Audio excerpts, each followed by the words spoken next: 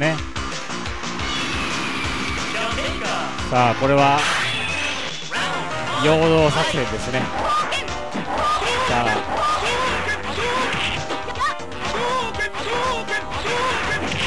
飛んで。なんだこれ。さあいろいろ当たってる。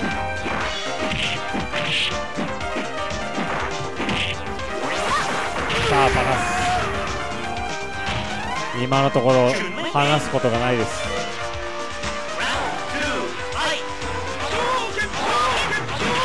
最近のこのとりあえずチュンリーはとりあえずチクチクやっとくの感じですよねさあしかしそういうのにはやっぱり、えー、さんとか川本さんは波動がうまいので全然いけるはずいやー出た3ヒットさあ最近流行りの挺身三段ピオリを優先させる。違うか瀬尾さんか。わかんない。とりあえず草さんではないです。挺身さんかな。さあとりあえずゲージためるのかためないのかためない。飛んでいく。飛んでいく。さあ中足キャンセルテンション。逃げる。逃げてた。さあさそりさんは余裕の草さんを褒めるという。さあ浮かれて飛ぶチュンリー。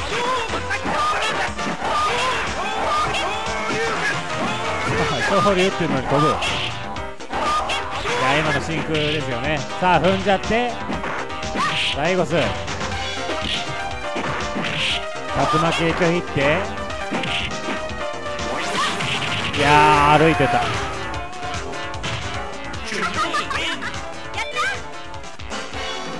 これで2-0かな？あれ？違う ?3? まあいいや。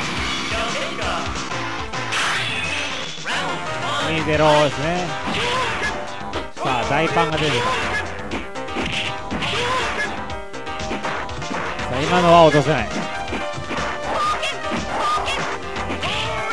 さあ中キックに昇竜投げる抜けてない。真空で中ゴスいやちゃんとギリギリにヒットする前を抑えてるというね。さあ3ヒット。コーナー焦がして。これはこれはこうなってしまうんです。どちらもミスらないけど決まってしまう。さあ大パン。えー、ピヨンの？大々機構で相打ちで中足さあゲージを貯めて飛ぶ。冷静に落とす。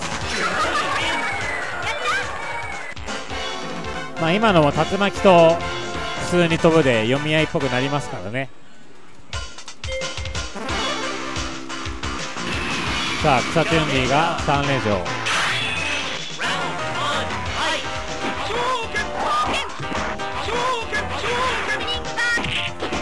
多分さすが中キックで飛んでるんですよね。あれのせいで間合いが離れな離れなくて変な読み合いが。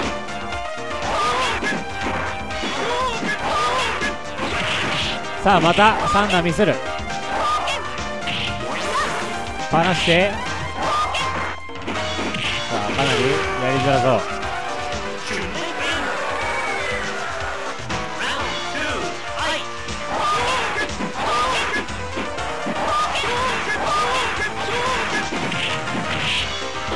さあ大きの大キック。中足からキャンテンション中足からキャンテンションは草さん結構誰にでもやるようになりましたね。投げる。引っかかる？なんで引っかかる？くぐって投げられる。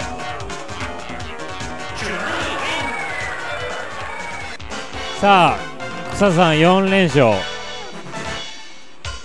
えー、確かさそりさんはウルツー勢チームでエントリーしてます。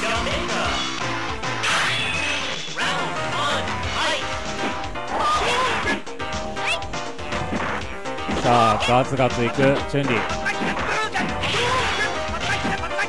ァイヤーで燃やしてさあテンション。逃げに仕込んである。投げて竜巻。アッパーで落とすいやさあここでもテンション。ガードして昇竜中盤。暴れて。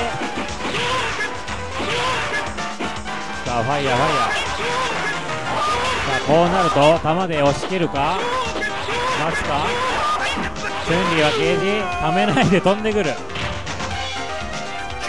やーチュンリーは飛んでくるんですよね。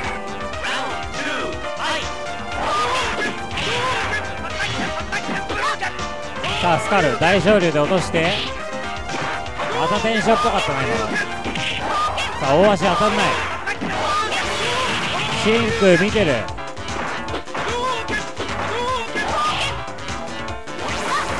さあ溜まったらパナして当たんない。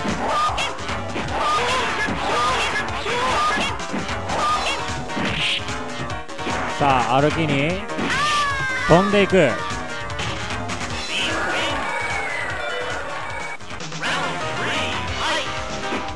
今4-0です。なんと。マジ？なんと4-0です。まあ大会前だからね。僕みたいに見せないやつで。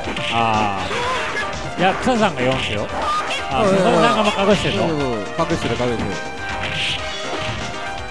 まあそれはありえますね。普通にあのテンションうまいなって言いながらやってる い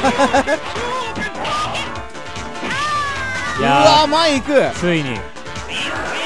さすがにといった感じで。中足を刺す。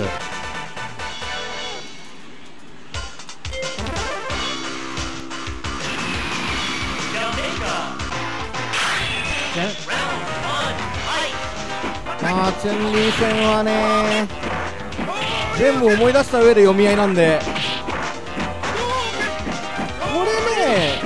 チェンリー使いはみんな竜有利って言うんですよね。え竜じゃないですか？これチェンリーでしょ。チェンリーかな。ここはチェンリーだと思うよ。これ絶対やった方がいいのにって思うのがね1個あるんですよ。大貫君はやってたんですけどどどっちあの大貫君はやってたんですけどチェンリー側でえっ、と先月の2段目から当たるところで波動を見る。があうん。あれがねすんげえ強いから。おっと41ー、マジで？